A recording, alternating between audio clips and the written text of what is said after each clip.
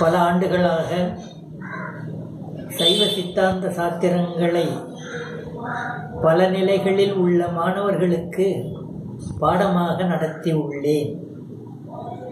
நடத்தப்பெற்ற அப்பாடங்களை எல்லாம் சைவ அன்பர்கள் அனைவரும் கேட்டு பயன்பெற வேண்டும் என்பது எனது விருப்பம். எனவே தூத்துக்குடி புனிதர் பேரவை அன்பர்கள் யூடியூப் மற்றும் இணையம் வழியாக வெளியிட இருப்பதை அறிந்து மகிழ்ச்சியோடு வாழ்த்துகிறேன். தொடர்ந்து எனது நூல்கள் இபுக்ஸாக வெளிவரும்.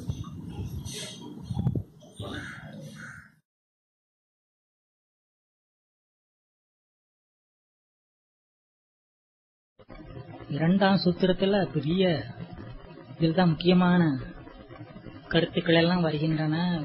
எத்தனை பாட்டு? இரண்டாம். போய்கொண்டே இருக்கிறது. நூத்தி எண்பத்தி நூற்றி எண்பத்தாறு செய்யுட்கள். என்னமா ம்? எதுக்கு? ஓ அந்த முதல் பகுதியா? ஆனா இரண்டாம் சூத்திரத்துல பல முக்கியமான கருத்துக்கள் எல்லாம் வருகின்றன. உலகெலாமாகி வேறாய் உடனுமாய் ஒளியாய் ஓங்கி உலகெலாமாகி வேறாய் உடனுமாய் ஒளியாய் ஓங்கி அலகிலா உயிர்கள் கண்மத்து ஆணையின் அமர்ந்து செல்ல தலைவனாய்.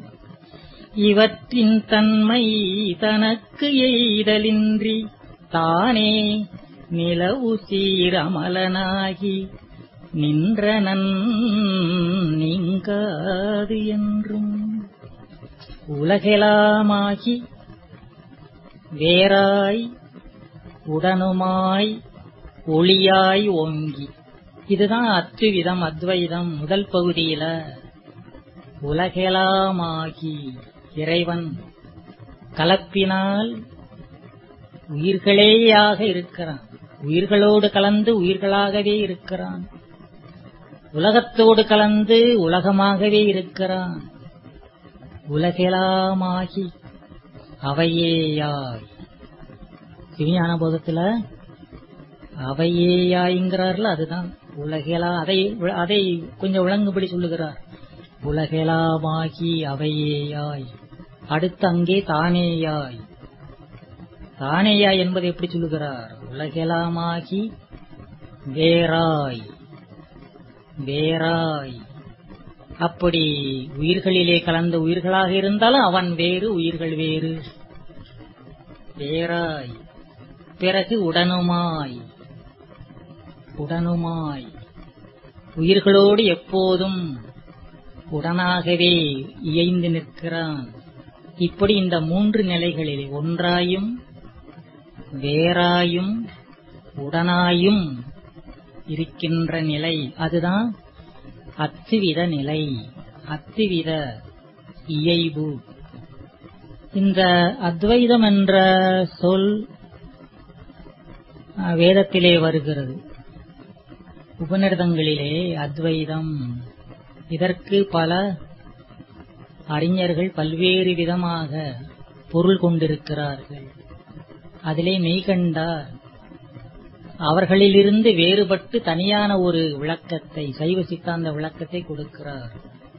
அந்த அத்வைதம் என்பதெல்லாம் இரண்டு சொற்கள் இருக்கின்றன. இரண்டு சொற்களால் ஆனது அந்த தொடர் அத்வைதம்.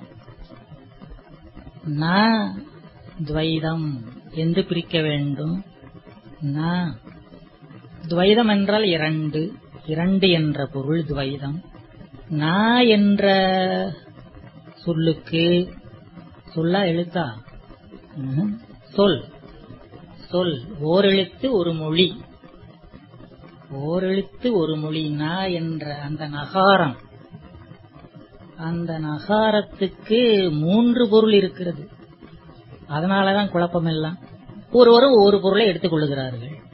நகாரத்துக்கு மூன்று பொருள் இருக்கின்றன வடமொழியில. ஒன்று இன்மை.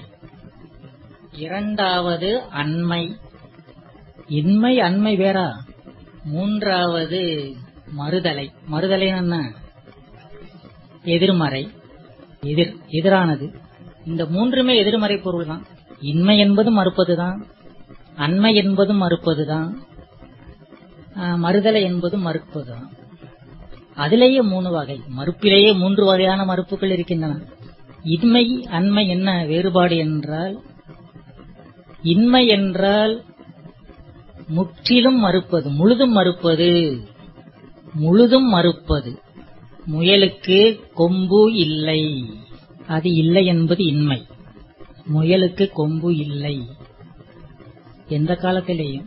எனவே அது முற்றிலும் மறுத்தல். இல்லை என்பது முற்றிலும் மறுக்க வரும். மறுக்கிற இடத்துல வரும் இன்மை. அது விளங்குகிறது. அண்மை என்பதற்கு உதாரணம் சொல்லுங்க. அண்மை.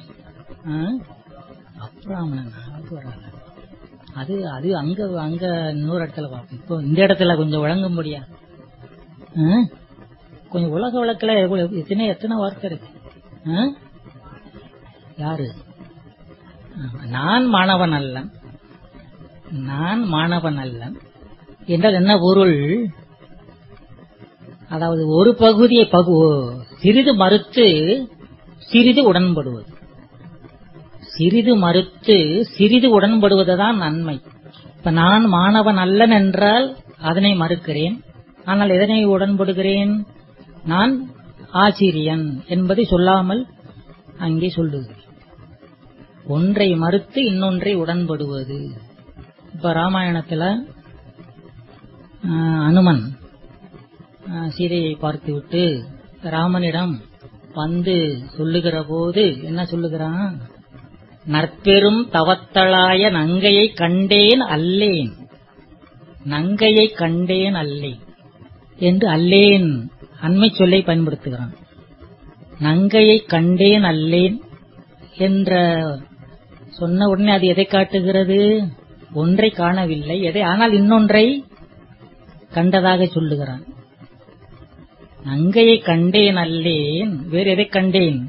கற்பெனும் திண்மை களிநடம் புரிய கண்டு இற்பெருந்து இருப்பிறப்பு என்பதொன்றும் இரும் பொறை என்பதொன்றும் கற்பெனும் பெயரதொன்றும் களிநடம் புரிய கண்டேன்.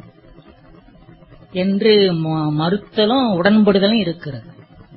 அப்படி அண்மை வரும் உடன்பாடும் மறுப்புமாக வரும்.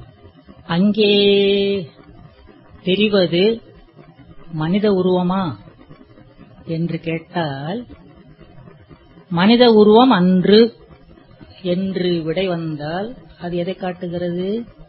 மனித உருவம் அன்று ஆனால் வேறொன்று அங்கே இருக்கிறது. வேறொன்று இருக்கிறது.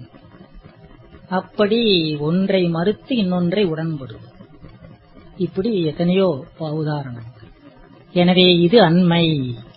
இன்மை என்பது முற்றிலும் பொருள் இருப்பதை மறுப்பது. அண்மை என்பது சிறிது மறுத்து சிறிது உடன்படுவது. இதை கருத்திலே வைத்துக் கொண்டு அடுத்து மறுதலை தெரியும்.